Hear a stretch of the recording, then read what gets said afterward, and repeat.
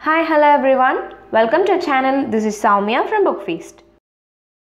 இன்றைக்கி இந்த வீடியோவில் நம்ம என்ன டாபிக் பார்க்க போகிறோம் அப்படின்னு பார்த்தா the Franklin's prologue and tale from the Canterbury tales by Geoffrey Chaucer நம்ம பார்க்கக்கூடிய கதையில் வரக்கூடிய கதாபாத்திரங்கள் அர்விரேகஸ் இவர் ஒரு நைட் இவருடைய ஒய்ஃப் பேர் டாரிஜின் அதுக்கப்புறம் ஒரேலியஸ் அப்படின்ற ஒரு யங் ஸ்கொயரை பற்றியும் இந்த கதையில் பார்க்க போகிறோம் ஒரேலியஸோடைய பிரதர் அண்ட் மெஜிஷியன் ஃப்ராங்க்லின் வந்து முன்னாடி என்ன பண்ணுறாருன்னா தான் ஒரு நோபல் பிரிட்டனை பற்றின கதையை சொல்ல போகிறேன் அப்படின்னு சொல்லிட்டு கதையை சொல்ல ஆரம்பிக்கிறாரு.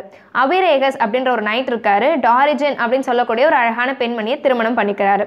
ரெண்டு பேரும் ரொம்ப சந்தோஷமாக வாழ்ந்துட்டு வராங்க. கொஞ்ச காலம் போகுது.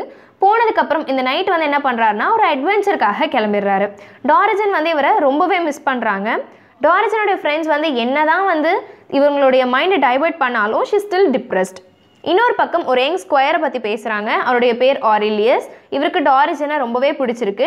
டாரிஜன் கிட்ட போய் தான் காதலிக்கிறதாக சொல்கிறாரு டாரிஜன் வந்து என்ன சொல்லிடுறாங்கன்னா ஒரு அன்ஃபேத்ஃபுல் ஒய்ஃபாக இருக்க நான் விரும்பலை அப்படின்னு சொல்லிடுறாங்க. திருப்பி திருப்பி இதை பற்றி அவர் பேசிகிட்டே இருக்காரு. உடனே அவங்க என்ன சொல்கிறாங்கன்னா நீ பிரிட்டானி ஷோரில் இருக்கக்கூடிய கற்கள் எல்லாத்தையுமே வந்து அந்த இடத்துலேருந்து ரிமூவ் பண்ணிட்டு வந்தேன்னா நான் உன்னை லவ் பண்ணுறேன் அப்படின்னு சொல்லி அனுப்பிச்சிடுறாங்க இது ஒரு இம்பாசிபிளான டாஸ்க் அப்படின்னு ஆரிலியஸ்க்கு தெரியுது. தெரிஞ்சதும் இவர் வந்து என்ன பண்ணுறாருன்னா சரி அவ்வளோதான் அப்படின்னு சொல்லி அங்கேருந்து கிளம்பிடுறாரு.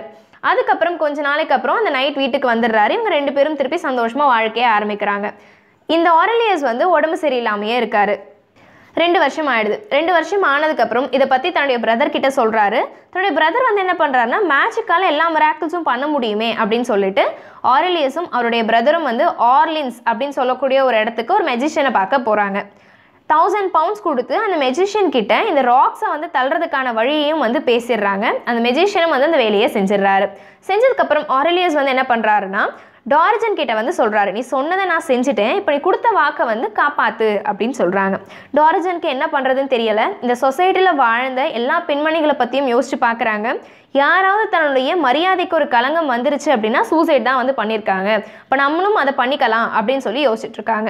இவங்க ஹஸ்பண்ட் கிட்ட போய் இதை பற்றி பேசும்போது அவங்க ஹஸ்பண்ட் என்ன சொல்லிடுறாருன்னா நீ வாக்கு கொடுத்துட்ட சொன்ன வார்த்தையை காப்பாற்றணும் அப்படின்னு சொல்லிடுறாரு.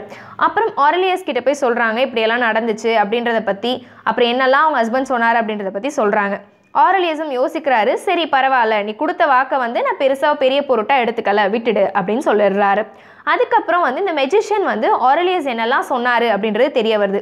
ஆரலியஸ் வந்து இவ்வளோ ஒரு நோபலான பர்சனாக இருக்கானே அப்படின்னு சொல்லிட்டு இந்த மெஜிஷியன் ஆரலியஸ்க்கு தௌசண்ட் பவுண்ட்ஸை வந்து எனக்கு நீ கொடுக்கணும் அப்படின்னு சொல்லாமல் நீ கொடுக்க வேண்டாம் அப்படின்னு எந்த ஒரு சார்ஜும் பண்ணாமல் விடுற மாதிரி இந்த கதை வந்து முடியுது. Hope the video is useful for you in one or the other way. Have an optimistic life with full of success. Thank you for watching our video. Please do like, share, comment and subscribe our channel to get further more updates.